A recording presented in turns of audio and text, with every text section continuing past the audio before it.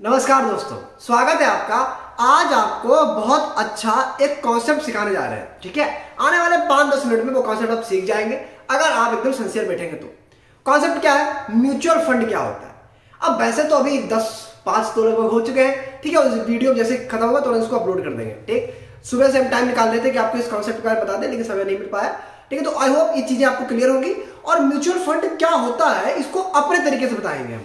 ठीक है, एक बहुत फॉर्मल वे में नहीं बताएँगे। जैसे आपको वैरायटी याद करवाते थे ना, ऐसे ही आपको म्यूचुअल फंड के बारे में बताने वाले ठीक है दो बहुत अच्छे तरीके सुनिएगा। ठीक, कोई समस्या होती है तो नंबर दे रखा है। ठीक है इंस्टाग्राम पे आकाश बाज पे सर्च करके वहाँ समस्या पूछ सकते हैं, कोई दिक्कत वाली बात नहीं। ठीक है? अब फिर म्यूचुअल फंड क्या होता है? इससे पहले आपको हम कुछ बातें बताते हैं। जैसे कि, भाई एक बात बताओ। ठीक, इस दुनिया में दुनिया में, इस भारत में, ठीक है, हर इंसान को पैसे की ज़रूरत है। है नहीं है, बिल्कुल है। ठीक, अब करना क्या है? अब मान लीजिए अडानी जी को पैसे की ज़रूरत है। कैसा अडानी जी को पैसे की ज़रूरत पड़ेगी कैसी बात कर रहे हो आप? भैया, पैसे की ज़रूरत सबको पड़ती है। ठीक है? सीधी सी बात है। तो अडानी जी को आपको क्या करना पैसा देना है। ठीक? भाई, सीधी सी बात है, आप अगर दस हज़ार रुपए इन्वेस्ट करना चाहते हो, फिर दस हज़ार बहुत छोटी सी रकम ले लेते हैं। ठीक है? बस आपको एक बाबा मिल जाए कि जितना अडानी जी ग्रोथ कर रहे हैं, जितना अंबानी जी ग्रोथ कर रहे हैं एनुअल ठीक, उतनी ग्रोथ आपकी होनी चाहिए। भाई, दस परसेंट की दर से वो बढ़ रहे हैं, दस परसेंट आपका पैसा बढ़ना चाहिए। ठीक? कोई सिंपल कोई दिक्कत वाली बात नहीं। हाँ कैसा इसमें कोई दिक्कत वाली बात नहीं। अगर वो इतनी ग्रोथ कर रहे हैं, हम भी उतनी ग्रोथ करेंगे, दस हज़ार रुपए में, हमें कोई समस्या नहीं होगी। सिंपल सी बात है। तो कहोगे सर लेकिन दस हज़ार में अडानी से बात कैसे हो पाएगी? हो ही नहीं पाएगी कोई दिक्कत नहीं। ठीक। हुआ क्या?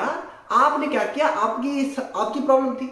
ऐसे ही पूरे इंडिया में बहुत से लोग ऐसे थे जो इन्वेस्ट करना चाहते थे, लेकिन भाई साहब, उनके पास एक प्लेटफॉर्म नहीं है। ठीक, कैसे उस चीज़ को इन्वेस्ट करें? ठीक, और पैसे की ग्रोथ भी चाहते हैं। इसीलिए गवर्नमेंट ने, ने क्या किया? एक ऑर्गेनाइजेशन बनाई ठीक है? एक बॉडी बनाई जिसे हम लोग बोलते हैं SEBI security exchange board of India अब सेबी ने क्या किया? आप सब सेबी पास किया सेबी ने क्या रुको क्या टेंशन ले रहे हो?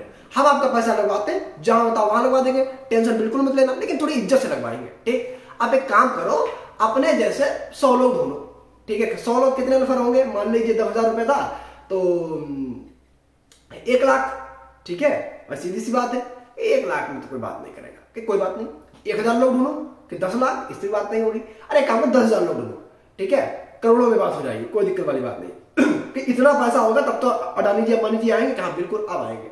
अब आपने क्या कहा कि सर, जो दस, एक, दस सौ या सौ करोड़ रुपए हो गए, मान लो, सौ करोड़ रुपए है, ये सौ करोड़ रुपए का मालिक कौन होगा? भाई, कौन इसको रेगुलेट करेगा? कि आप क्या चाहते हो? आपको एल भरोसा है कि बिल्कुल है, ठीक है। आपको एच भरोसा है एस भरोसा है आईसीआईसी बैंक भरोसा है कि बिल्कुल है? कि ठीक है, हम एक काम करते हैं, आपके दस हज़ार ऐसे ही करते करते आपका, उसका, सबका, जितना लोगों का पैसा है, उनका इसी ऑर्गेनाइजेशन में हम क्या करते हैं, पैसा लगा, लगवा देते हैं, ठीक है? भाई, आपका क्या होगा एचडीएफसी में अकाउंट खुल जाएगा आईसीआईसी में अकाउंट खुल जाएगा एसबीआई में अकाउंट खुल जाएगा एल में अकाउंट खुल जाएगा, कुछ नहीं, आपको जाना दस रुपए डालना है अपना, आपका पैसा लोग इन्वेस्ट कर देंगे, कोई दिक्कत वाली बात नहीं कि सर ये तो बड़ा सरल हो। गया कोई दिक्कत वाली बात वाली बात नहीं। ठीक है, ये अच्छी बैंक है, ये अच्छी ऑर्गेनाइजेशन है, कि पैसा कहीं जाने वाला भी नहीं है। ठीक है, कोई समस्या नहीं हुई। ठीक, आपने अपना पैसा लगा दिया। ठीक, अब भाई साहब एसबीआई ने कहा कि भाई साहब, पैसा आपने लगा दिया है, अब इसको कहीं भी इन्वेस्ट करें, कोई दिक्कत वाली बात नहीं होगी। कहीं अपनी दिक्कत वाली कोई बात नहीं होगी, लेकिन एक बात था, आपको कमीशन कितना चाहिए? अरे सर, क्या ही कमीशन लेना? आप एक आध परसेंट दे देना। मतलब सौ करोड़ रुपए है, उसका एक परसेंट भी एक करोड़ हो गया। ठीक है, लेकिन तब भी कोई बात नहीं, ठीक है, आप पैसा लगा दीजिए। अब जब जब बीच वाले, जब इस पूरे फंड को कलेक्ट किसने किया? इन ऑर्गेनाइजेशन ने किया। ठीक है? सेबी उसे रेगुलेट कर रहा है। कोई दिक्कत बड़ी बात नहीं। वो अपना टैक्स ले रहा है और ये अपना परसेंटेज ले रहे हैं। यानी ये लोग कौन है? एजेंट हो गए। ठीक बात है?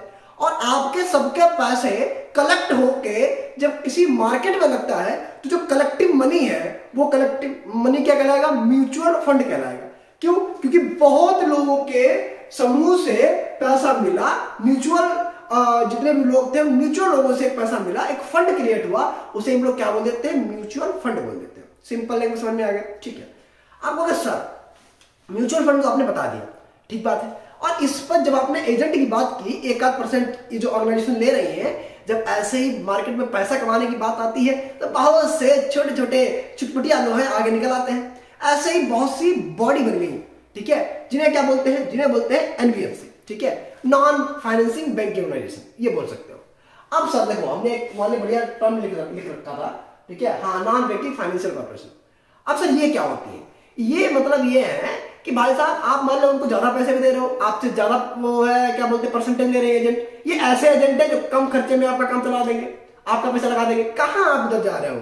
ठीक, इज़्ज़त से आपसे बात और नहीं करती है गवर्नमेंट बॉडी है। आप आओ, अपना पैसा लेके मेरे पास आओ। मैं पैसा भी कम लूँगा आपसे और जहाँ बता दो वहाँ इन्वेस्ट कर लूँगा। कोई समस्या वाली बात नहीं। आपने कहा, यार, ये बात तो सबसे अच्छी है। पैसा भी हमारा परसेंटेज भी कम ले रहा है। कोई दिक्कत वाली बात नहीं।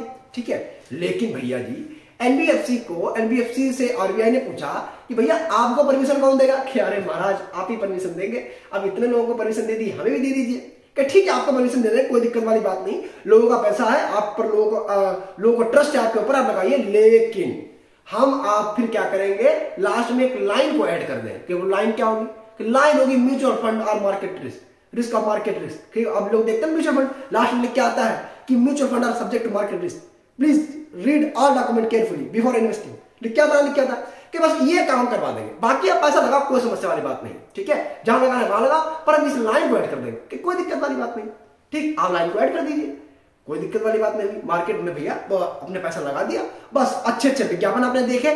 लास्ट में एक लाइन लिख के आई कि mutual fund subject to market risk read all document carefully before investing लिख के आया, कोई दिक्कत वाली बात नहीं आपने पढ़ा ठीक ही है। ठीक है, बस। यहाँ पे आपने क्या किया? सभी पैसे को अपना कलेक्ट किया। ठीक है, चाहे एनबीएफसी के माध्यम से, चाहे इन ऑर्गेनाइजेशन के माध्यम से, बैंकों के माध्यम से अपने पैसा लगा दिया। ठीक है, अब वो जो पूरा कलेक्ट था लोगों का, बहुत से लोगों का पैसा था, वो क्या था? म्यूचुअल फंड था। अब वो पैसा सर दो जगह लगेगा। या तो सर वो शेयर मार्केट में वो लोग देंगे, या तो वो तीन जगह और होती है, उनमें लगाएँगे। कर अगर शेयर मार्केट में लगा देंगे, तब तो कोई दिक्कत, ज़्यादा दिक्कत नहीं होती है। शेयर अगर बढ़ेंगे तो आपका पैसा बढ़ेगा। शेयर कम होंगे तो आपका पैसा कम होगा।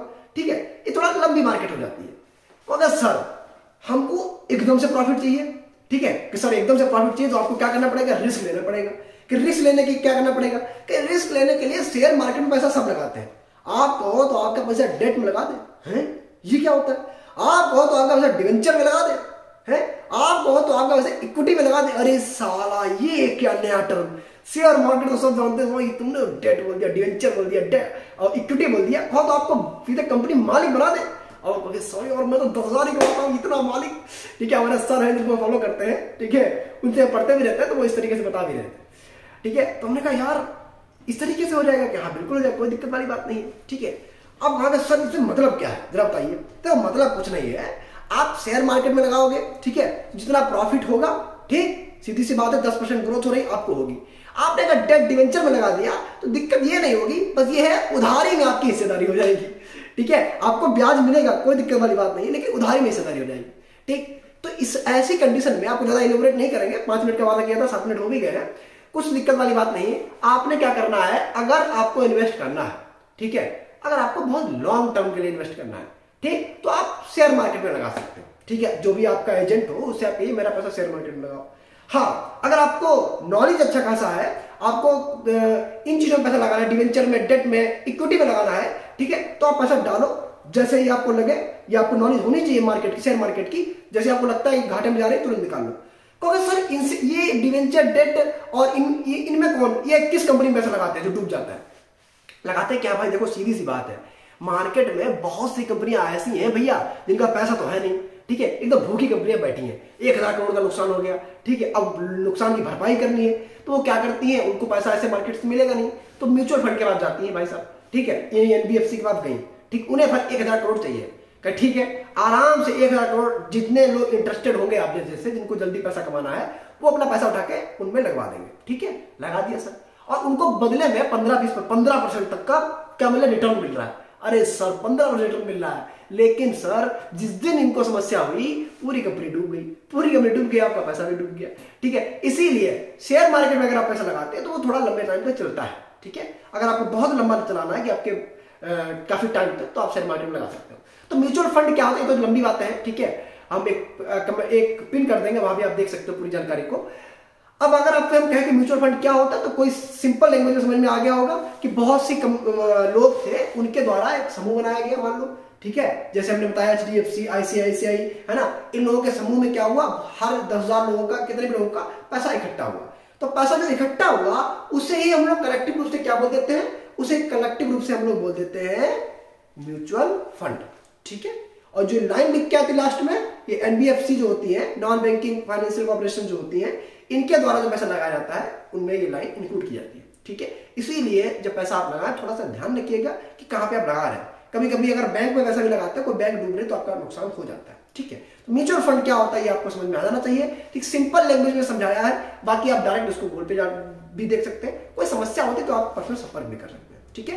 बाकी वीडियो बैंक में ला चुके हैं कंसोर्टियम फंड क्या होता है, ठीक है? रेपो रेट क्या होता है रेपो रेट नॉर्मलाइजेशन क्या होता है, ये लास्ट प्रीवियस वीडियो को देख लीजिएगा। अब काफ़ी स्पेस थक गए थे तो हमने बस एक वीडियो डाल दिया ताकि हम लोगों को समझ में आ जाए। कोशिश किया समझाने की, सरल भाषा में समझ में आएगा तो अच्छी बात है, ठीक है? कमेंट बता दीजिएगा। Radhe Radhe thanks to all